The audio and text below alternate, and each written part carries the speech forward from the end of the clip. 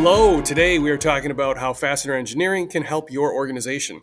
To do that, I am joined by Bob Lund. Bob has decades of experience solving problems for everyone from manufacturers to beverage companies. Bob, thank you for being here. Happy to be here, uh, but the decades makes me sound really old.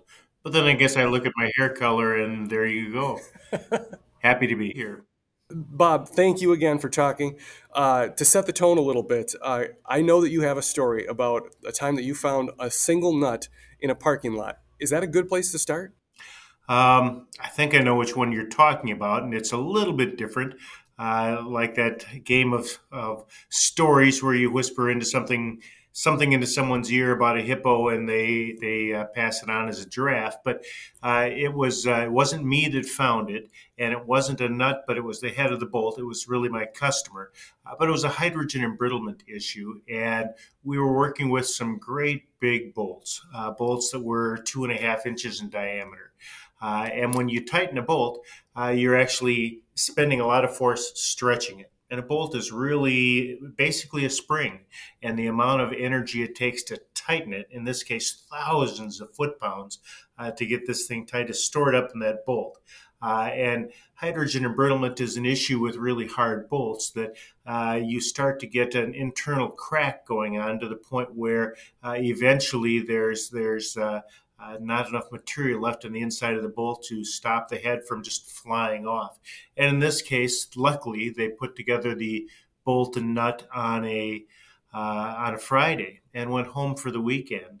Uh, and when somebody came back Monday morning, the head of the bolt was sitting out in the parking lot. It had busted off and flown through the wall of a steel sided pole barn type building, basically, and, uh, and was sitting in the parking lot. So uh, imagine how devastating that could have been if somebody was standing in the wrong position. So, uh, yeah, uh, an, an, incredible uh, story that made the customer realize that I guess we should have taken some better precautions and uh, not. Uh, uh, not blown off the fact that I had warned them that they could be experiencing some problems by electroplating these really hardened bolts. So, yeah, it's a great story that story, it feels like it highlights a depth of knowledge that I didn't even know existed. So, is that a big part of engineering education? Do engineers as a whole uh, know a lot about fasteners coming into it? Uh, no, uh, we're basically all dumb, dumb as a stone when it comes uh, to fasteners after we get out of engineering college. I uh, went through that myself. I actually taught for about 15 years uh, at the Milwaukee School of Engineering. We didn't teach anything on fasteners. No one that I'm aware of really has a class that sits down and explains fasteners, uh, which is probably too bad because almost everything in the manufacturing world that has to be put together is put together with some type of a fastener.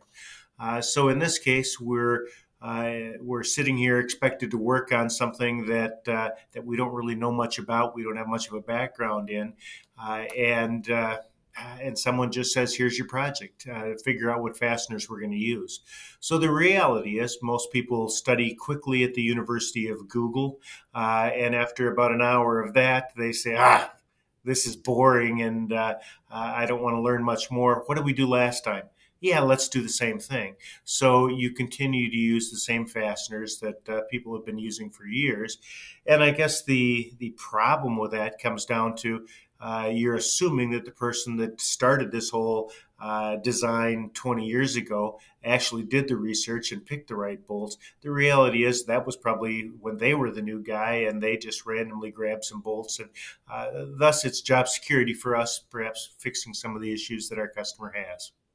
Is that pretty common? Do you see a lot of folks who think of fasteners as an afterthought in their designs?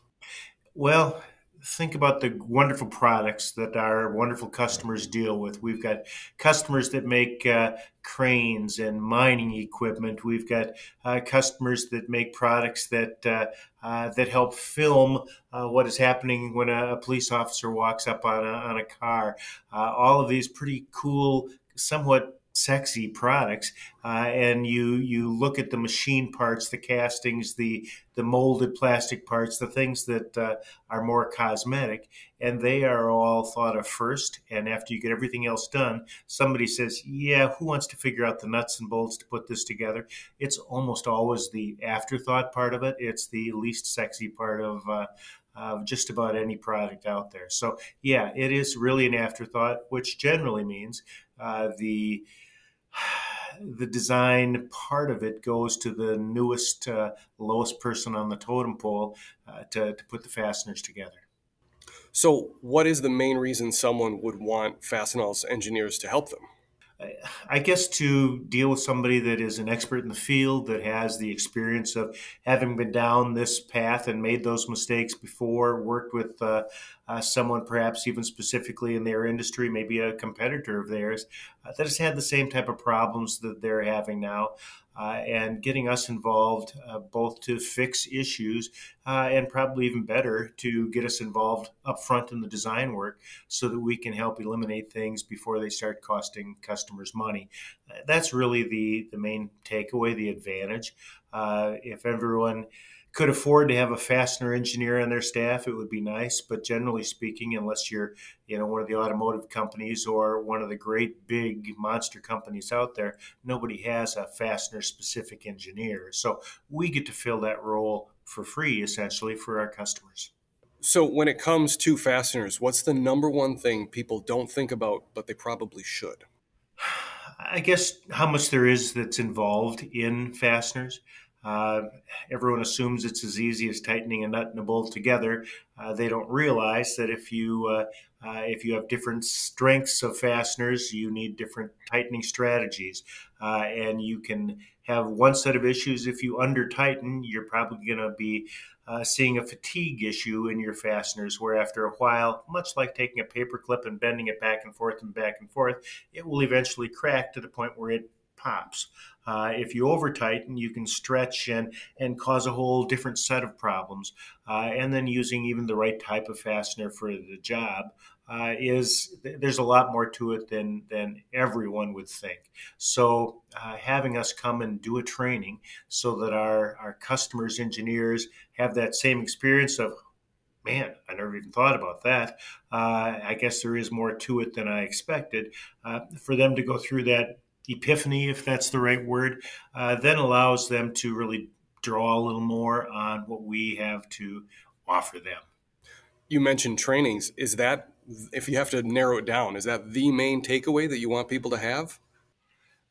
I guess uh, we really want our engineers to develop a relationship, and the easiest way to develop a relationship with our customers' engineers is to get a whole bunch of them in the room at the same time, so that we're not one at a time going from engineer to engineer saying, "Hey, this really is important.